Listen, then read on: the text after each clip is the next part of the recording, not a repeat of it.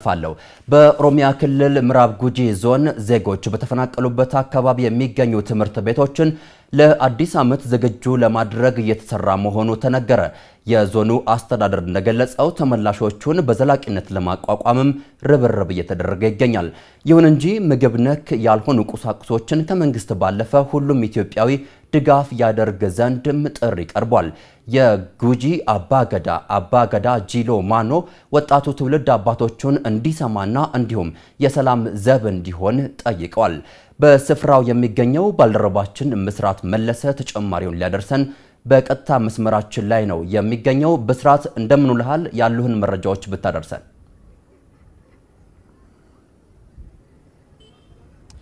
አመሰግናለሁ ሶዶ። እንግዲህ አንተም በርዕሰ አንቀጹ እንዳስተዋወቅከው በርካታ በመቶ ሺዎች የሚቆጠሩ ዜጎች በጌዲዮና በጉጂ በምዕራብ ጉጂ አዋሳኝ ዞኖች በተከሰተው ግጭት ምክንያት ከቤት ንብረታቸው ተፈናቅሎ ወደ ተለያዩ አካባቢዎች መፈናቀላቸው የሚታወስ ነው።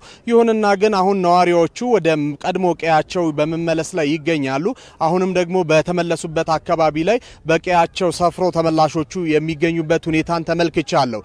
ይሁንና ነዋሪዎቹ አሁን በሰፈሩበት ሁኔታ ላይ ቅሬታዎቹን ሲያነሱ ነበረ። በትናንትናም የዜና እወጃችን ላይ ይህንን ማስታወቃችን ይታወሳል። በዛሬው ዕለት ቆይታ የምዕራብ ጉጂ ዞን ዋና አስተዳዳሪ የሆኑትን አቶ አበራ ቡኑን ከነዋሪዎቹና እንደዚሁም ደግሞ ከተፈናቃዮች ለተነሱላቸው ጥያቄዎች እሱ ላይ ጠይቄያቸው ነበር። እሳቸው እንደነገሩኝ ከሆነ በዋነኛነት ነዋሪዎቹ ተፈናቃዮቹ የሚያነሱት ጥያቄ የሰብአዊ እርዳታን በተመለከተ ነው። የሰብአዊ እርዳታን በተመለከተ ደግሞ በቂ የሆነ የምግብ ድጋፍ እየተደረገልን አይደለም የሚል ጥያቄ አንስተዋል። አቶ አበራ በምላሻቸው እንደነገሩኝ ከዚህ በፊት የዜሮ ነጥብ ሁለት ኪሎ ግራም ነበር የሚሰጠው። ይሄ ደግሞ ለአንድ ሰው በቀን ሲሰጥ እጅግ በጣም ያነሰ ነበረ።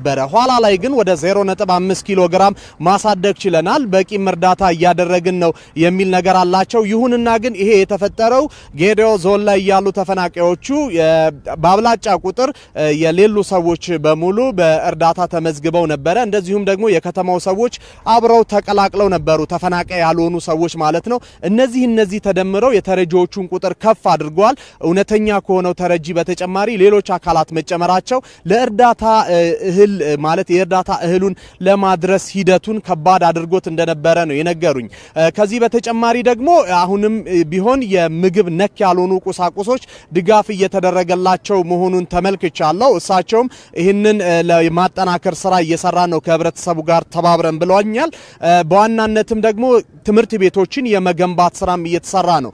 በዚህ ግጭት በተለይም በቀርጫ አካባቢ በተነሳው ግጭት ወደ 34 ትምህርት ቤቶች ናቸው የወደሙት። ከነዚህ 27ቱ በከፊል የወደሙ ሲሆኑ ሰባቱ ደግሞ ሙሉ በሙሉ ወድመዋል። ይህንን ደግሞ ህብረተሰቡን በማስተባበር ግንባታዎች እየተከናወኑ ናቸው። የኦሮሚያ ክልላዊ መንግስትም ለትምህርት ቤቶቹ ግንባታ የ3 ሚሊዮን ብር ድጋፍ አድርጎላቸዋል። ከዚህ በተጨማሪም ደግሞ ህብረተሰቡ በመልሶ ማቋቋም ስራው ላይ አብሮ እገዛ እያደረገ ነው። በተለይም ደግሞ የቁሳቁሶችን ድጋፍ በማድረግ እንደዚሁም ደግሞ የቤት ቁሳቁሶችን እርዳታ እያደረገ ነው። አንድ ድስት ሁለት ድስት ያለው አንድ ድስቱን እያካፈለ መሆኑንም ተመልክቻለሁ። ህብረተሰቡ እርስ በርስ እየተረዳዳ በአብሮ የመኖር ባህሉን እያጠናከረ እንደሆነ ነው የእሳቸውም የነገሩኝ፣ እኔም በቆይታ ያረጋገጥኩት። ከዚህ በተጨማሪ ሌላኛው የሚነሳው ጉዳይ የጸጥታ ጉዳይ ነው። የጸጥታ ጉዳይን በተመለከተ ሁለቱ ዞኖች በጋራ እየሰሩ ይገኛሉ።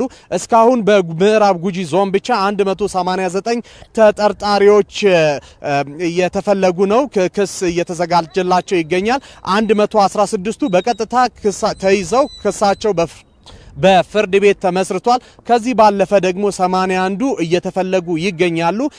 ጸጥታን በተመለከተ ዋናው የጸጥታው ባለቤት ህብረተሰቡ ነውና ህብረተሰቡ ላይ በርካታ ስራዎች እየተሰሩ ይገኛሉ።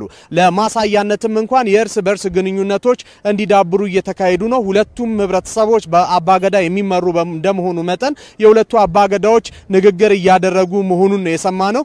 ከዚህ ቀደምም በዛሬው ዕለት ቆይታዬ የጉጂ የጉጂ አባገዳን አግኝ አግኝቻቸው ነበረ። አባገዳ ጂሎ ማኑን አግኝቻቸዋለሁ። እሳቸው እንደነገሩን ከሆነ እዚህ ላለነው ሚዲያዎች እንደነገሩን ከሆነ የጌዲዮ አባ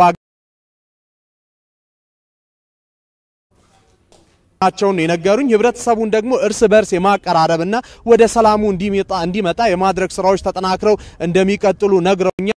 እሳቸውም ሲያጠቃልሉ ቸውን ዋነኛ የሰላሙ ባለቤት ህብረተሰቡ ነው። ከህብረተሰቡም ደግሞ ከወጣቱ ብዙ ይጠበቃልና ወጣቱ ትውልድ አባቶቹን ሊሰማ ይገባል፣ አባገዳዎቹን ሊሰማ ይገባል፣ የሃይማኖት መሪዎችን ሊሰማ ይገባል ብሏል። ስለዚህ ወጣቱ በአጠቃላይ ዘብ ሊቆም ይገባል ብለውኛል። ሶዶ ባልደረባዬ በስርዓት መለሰ ላደረስከን መረጃ ከልብ አመሰግናለሁ። መልካም ቀን ይሆንልህ።